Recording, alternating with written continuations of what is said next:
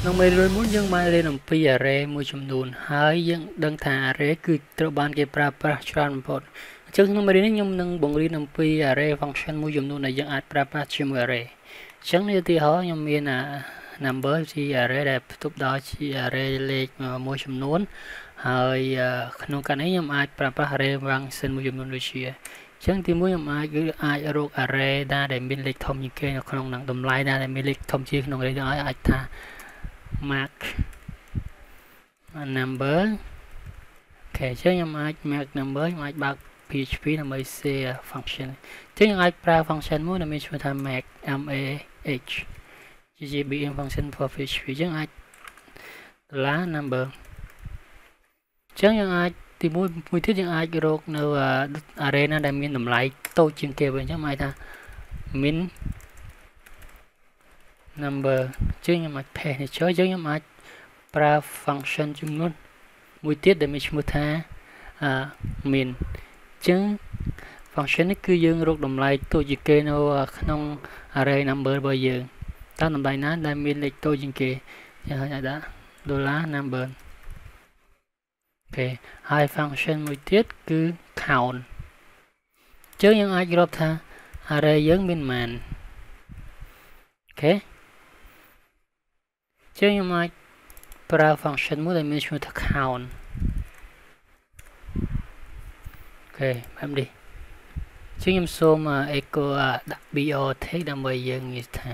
ចុះបន្ទាត់ក្នុង HTML យើង paste paste អូខេអញ្ចឹងខ្ញុំបាន save អញ្ចឹងយើង test browser យើងចូល local ហោះ basic PHP យើង slash array function នេះ អូខេខ្ញុំភ្លេច echo វិញត្រូវការ echo វិញសិន echo កន្លែងនេះគឺដូចគ្នា echo នេះដូចគ្នា echo នៅការ save refresh គេអញ្ចឹងយើងបានឃើញខ្ញុំសូមដាក់ pre-text ឡើងនេះមួយដើម្បីឲ្យយើងកាន់តែច្បាស់ យើងអាចប្រើប្រាស់នៅ function ដែលយើងរៀនបានរៀនពីមេរៀនមុនគឺ print on ដើម្បីយើងដឹងថា array ហ្នឹងមានធាតុអីខ្លះអញ្ចឹងមុននឹងសេខ្ញុំសូមបើក text vision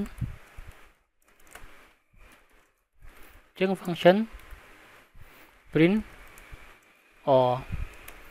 number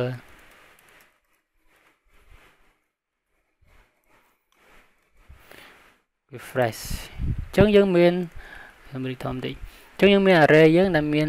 ពីលេខពីលេខ0ដល់5អញ្ចឹងយើងអាចដឹងថាលេខដែលធំជាងគេគឺលេខ10ជាព្រោះយើងអាចដឹងនៅក្នុងនេះហើយលេខដែលតូចជាងហើយលេខដែលតូចជាងគេបំផុតគឺលេខ3ហើយក្នុងនោះ array ទាំងអស់យើងមានមានចំនួន6 array អញ្ចឹងយើងអាចរាប់ពីលេខ1លេខ2លេខ3លេខ4លេខ5លេខ6ដែល array នោះវាចាប់ផ្ដើមពីលេខ0ទៅអូខេ ជាងវាជា function មួយចំនួនដែលយើងប្រើប្រាស់ជាមួយ array ឬក៏យើងអាចតម្រៀប array sort array ហ្នឹងឲ្យត្រូវតាមលំដាប់លំដោយបានជាងអាចប្រើប្រាស់នៅ function ដែលជាងខ្ញុំអាចថា short ជាងខ្ញុំអាចថា php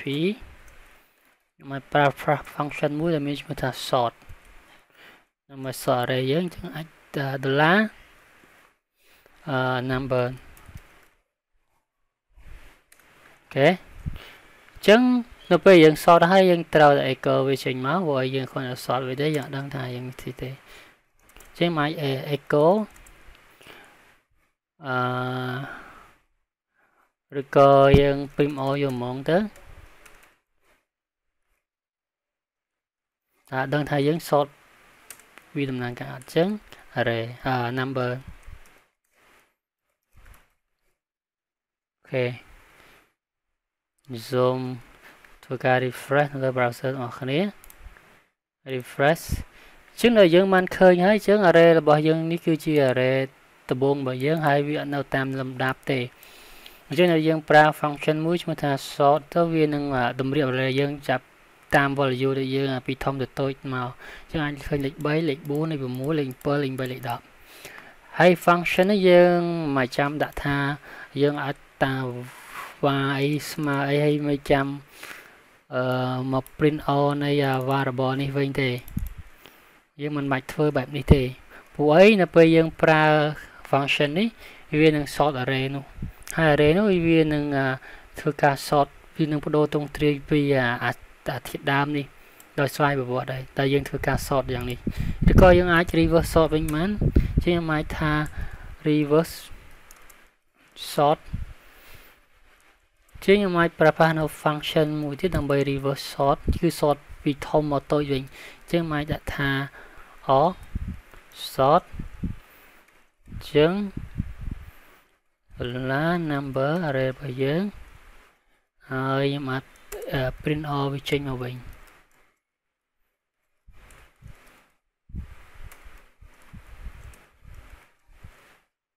គេធ្វើការតែ browser របស់គ្នា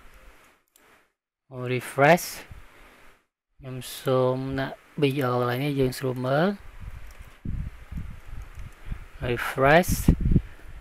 អញ្ចឹងដល់យើងបានឃើញអញ្ចឹង array យើងគឺចាប់ដើមពីលេខធំមកទៅតូចវិញ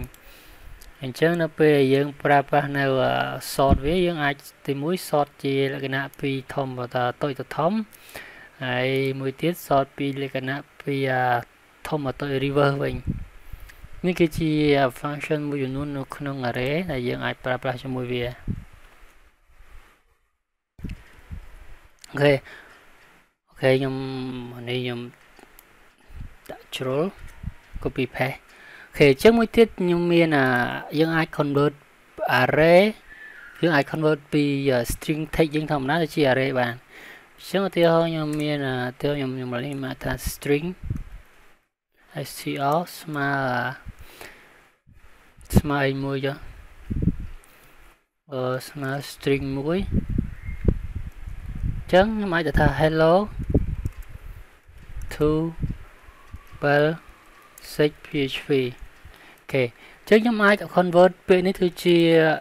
array បានដោយយើងអាច convert មកពាក្យមកពាក្យនេះដោយប្រើប្រាស់នៃអ្វីអ្វីមួយដើម្បីសម្រាប់ convert ចឹងដើម្បី convert វាខ្ញុំអាចប្រើប្រាស់នៃ function មួយដែលមានឈ្មោះថា explode អូខេអញ្ចឹងវាមាន parameter ផ្សេងអញ្ចឹងដំបូងគឺអឺកន្លែងដែលយើងត្រូវកន្លែងពីមួយទៅមួយដែលយើងត្រូវ convert អញ្ចឹងចន្លោះពីមួយទៅមួយយើងអាច convert ជាជា array ដោយ space នេះអញ្ចឹងវាវា space យើងអាចយូរអា space ហ្នឹងបន្ទាប់ពី space ហ្នឹង យើងអាចទាញនេះជា array តម្លៃមួយបន្ទាប់ពី space តម្លៃមួយទៀតវាពិសេសមកអញ្ចឹងអាចប្រើប្រាស់នៃ space នេះដើម្បីធ្វើជា key ដើម្បីខ្ញុំ convert string នេះទៅជា array ចឹងខ្ញុំអាចដាក់ក្នុងនេះអាចដាក់ space ហើយនឹង parameter ទី2គឺជា string ដែលយើងចង់ convert ទៅយើងអាចថា $str អូខេចឹងខ្ញុំអាចខ្ញុំអាចដាក់តា variable មួយដែលមានឈ្មោះថា array or str to array អូខេស្មើអញ្ចឹងខ្ញុំអាចខ្ញុំអាច print all ខ្ញុំសូមខ្ញុំអាច print all នៅ array នេះបានអញ្ចឹងអាចធាថា string to array ចឹងខ្ញុំអាច print all php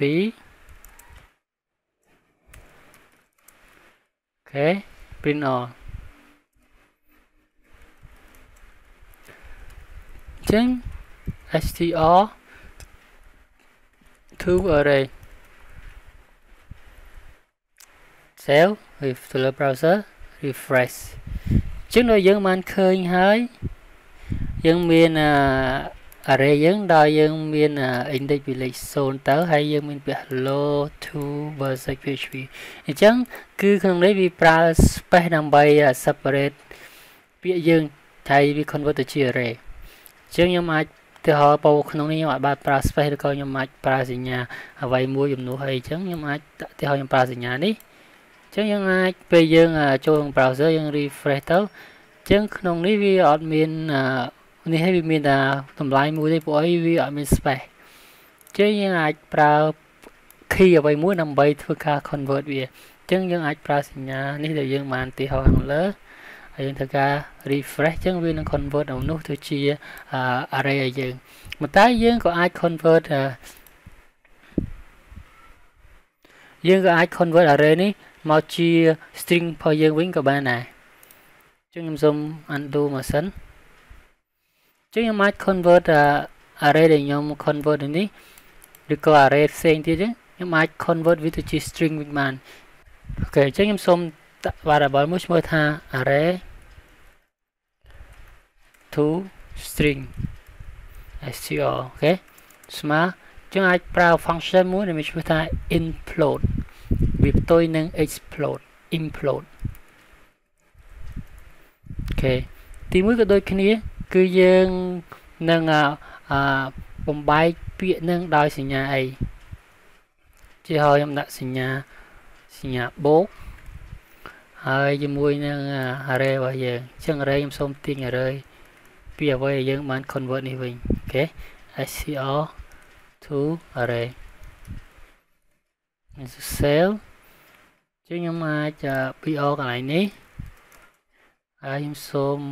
copy មួយ line នេះខ្ញុំខ្ជិលវាយណាដាជាខ្ញុំអាចថាលុបនេះចោល to string ជាខ្ញុំអាច print off array to str ดูការវា refresh the browser ជាងដែលយើងបានឃើញវានឹងបូកលេខនោះបញ្ចូលវាបូកវានឹងធ្វើ array ឲ្យយើង វានឹង convert array ទាំងនោះឲ្យយើងវិញជាមួយនឹងអាពាក្យជា string ឲ្យយើងវិញជាមួយនឹងអ្វីយើងបានឃើញនេះព្រោះយើងបានប្រើសញ្ញាបូកជំនួសអ្វីដែលយើងចង់បន្តតជាប់គ្នានៅក្នុងហ្នឹងតែយើងអាចប្រើ space ក៏បានដែរក្នុងនេះជំនួស space វិញក៏បានដែរអូខេអញ្ចឹងខ្ញុំសូម refresh មកវាចេញធម្មតាអូខេឬក៏យើងអាចយក array number នេះមកវិញក៏បានអញ្ចឹង ជាឲ្យខ្ញុំចង់ដាក់ number នេះ convert ទៅជា string number OK យើងធ្វើការ refresh អញ្ចឹងវានឹងចេញលេខឲ្យយើងឲ្យយើងបានឃើញ OK ហើយក្នុងនេះយើងអាចដាក់សញ្ញាអ្វីយើងចង់តភ្ជាប់គ្នាចូលយើងអាចដាក់លេខសញ្ញាគុណក៏បានដែរផ្កាយយើង refresh មកវានឹងចេញអ្វីដែលយើងបានធ្វើហ្នឹង OK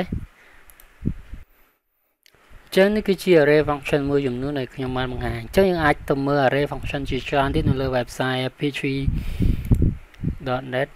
ចឹងខ្ញុំអាចស្វែងថា array function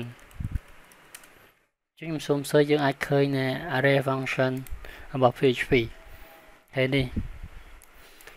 ចឹងយើងអាចឃើញ function មួយចំនួនដែលយើងអាចប្រើប្រាស់នៃវា ក្នុងហ្នឹងយើងអាចមើលនៅក្នុង description ផ្សេងផ្សេងហើយមាន array មួយហ្នឹងដែលយើងបានប្រើ explode implode ឬក៏អីផ្សេងផ្សេងហ្នឹងអូខេ